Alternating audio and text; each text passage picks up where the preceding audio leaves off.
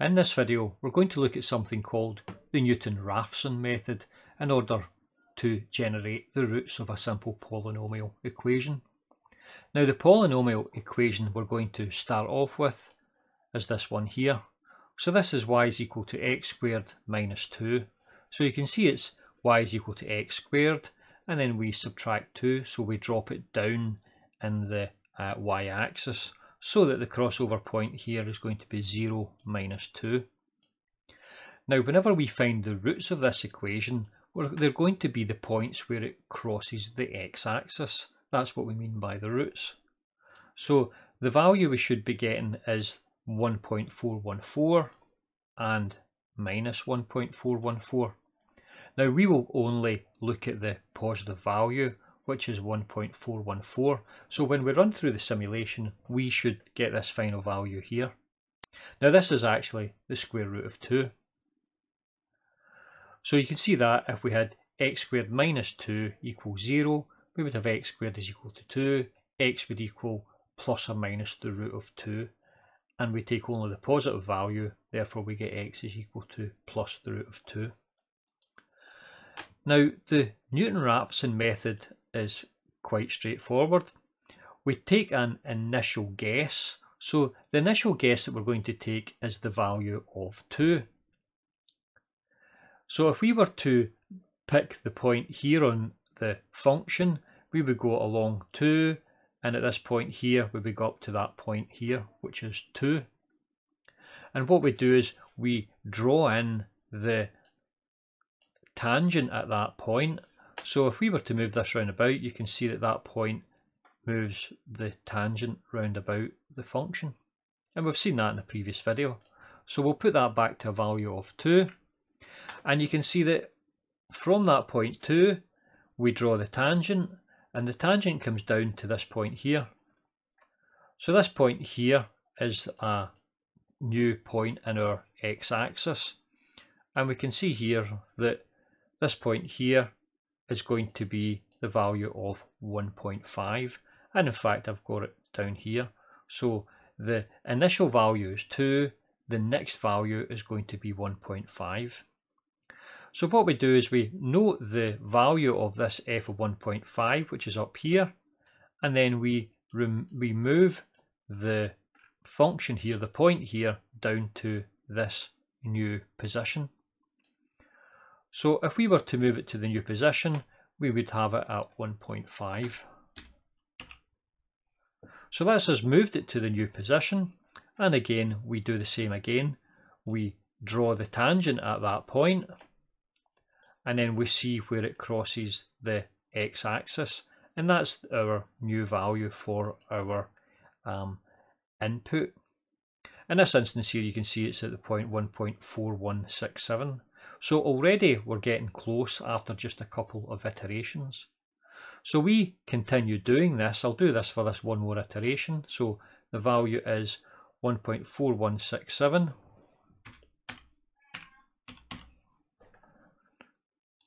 And you can see that we're getting closer and closer to the actual root, which is 1.414. So within two or three iterations, we've actually got to the root of this equation.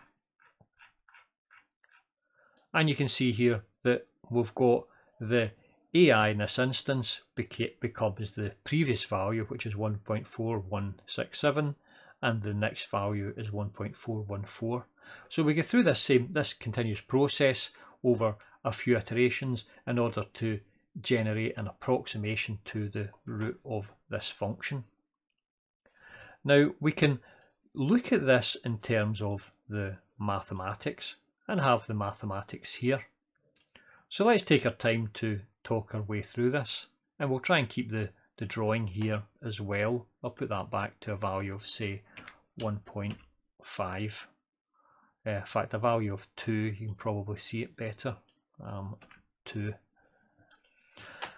so we know that the equation of a straight line is y is equal to mx plus c.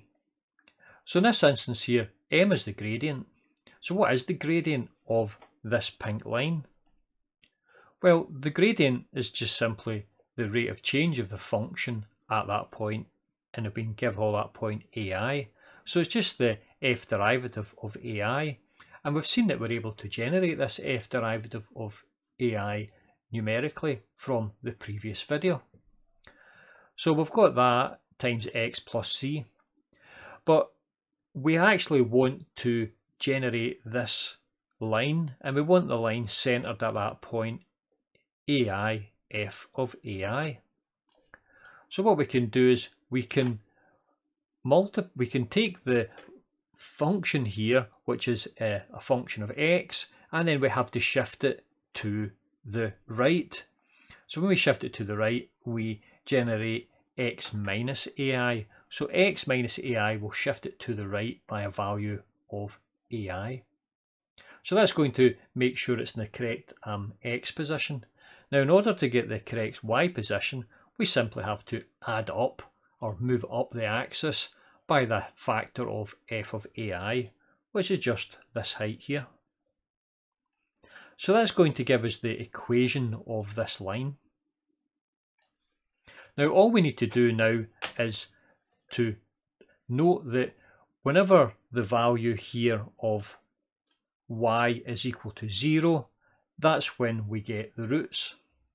So we can simply set this value here, y, as the value of 0. And we transpose the equation till we get this here. And then we can solve for the value of x. So we then transpose the equation again such that we get x is equal to ai minus f of ai upon f derivative of ai. Now this new value of x, we can call it ai plus 1. So that's the new value. So this is the final little uh, Newton-Raphson equation that we use in order to generate this approximation to the roots of our simple polynomial. Now we're going to take this example here of using x squared minus 2 and we will code it in in our assembly language and we'll see it running. So let's go and we will do that now. Now I have generated the code here for our Newton-Raphson approximation using a simple polynomial. So our polynomial is x squared minus 2. So we expect to get the answer 1.414. So the answer 1.414 and our fixed point is 0 cross 0169. So again, we can break it down into little sections. I've written the algorithm up here. So we've got to generate the f derivative of our value ai. Now our values are actually here at the bottom. Okay, so all of our constant terms are at the bottom here. So we seen how we could generate the derivative of a value from the last video. And all I did was I took the, last video and, and I took the code for the last video and I generated an actual subroutine for that code. So that subroutine is in the ROM. So it means that we can just call that subroutine whenever we want to. So that's what we've got here we're just going in and we're pushing the values that we require in order to generate the derivative of this function here at a point whenever the value of x is equal to 2. So this is the uh, value, this is what we get here for our uh, derivative. And then we want to generate the actual value of the function f of ai and we do that using our power function. So we generate that here and then we do the division here and then we do the subtraction of ai minus this value in this section here. And we're going to go round this a certain number of times. So we have to decide um, whenever the value that we've got um, is close enough to the root. Now a simple way of doing that for us at the moment is just to pick a number of iterations. So we'll just stick to five iterations of this particular um, loop. So that's the code for generating the uh, Newton-Raphson for the x squared minus 2 and we expect to see the result uh, 0 cross 0169. So let's load this into our machine and see whether we actually get this result. Now I have loaded the program into the RAM and it's now running. So again if I drop down you can see the RAM and the ROM being accessed and we have the control unit with all the sets and enables pulsing which is generated by the microcoded ROM. So I will leave this to run and I'll fast forward the video and we'll get to the final result. Now that's the simulation finished and we've got the final result in register R3. Now we were expecting to see 0169 but we've got 016B but from the 9 to the B we only go from 9 so it's 10 and then A and then B so we're only three in effect units out. So this is really um, quite accurate. And the actual value then 016b is approximately 1.418 as opposed to 414. So let's have a look at this actually within the graphical calculator. I have added the simulation result here in yellow. So if we zoom in, we can see that the result that we expected to get is 1.414 and the actual result we got from our simulation on our CPU is 1.418. So you can see that we are actually within the um, correct range that we expect to get with our fixed point 8.8 number system. So it's only going to be accurate to approximately two decimal places and we see this accuracy here.